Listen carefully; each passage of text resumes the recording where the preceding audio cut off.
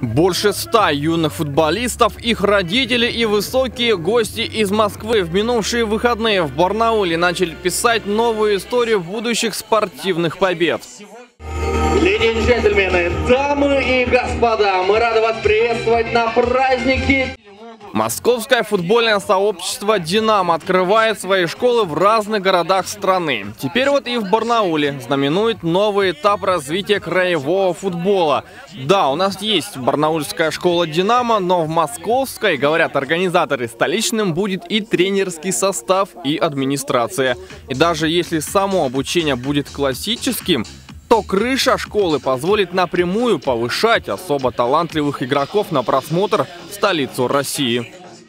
Рад, что именно Барнаул э, станет точкой для воспитания будущих чемпионов, будущих звезд Чемпионами не рождается, но чтобы стать топ-игроком и представлять ведущие клубы России, нужно много лет работы и терпения. А открытие Московской школы «Динамо» этот процесс может ускорить, поясняют в организации.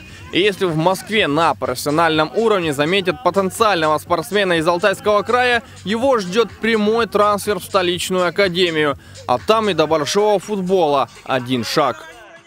Это хорошая возможность вертикали попасть в профессиональный спорт. Ты начинаешь в этой школе, потом у тебя есть возможность, тебя видят перейти в Динамо Барнаул, дальше уже Динамо Москва, ну и вы будете все на виду. Кстати, на занятия ждут всех желающих, независимо от того, занимаетесь вы уже профессиональным футболом или талантливо пинаете мяч во дворе. Для всех делают равные условия.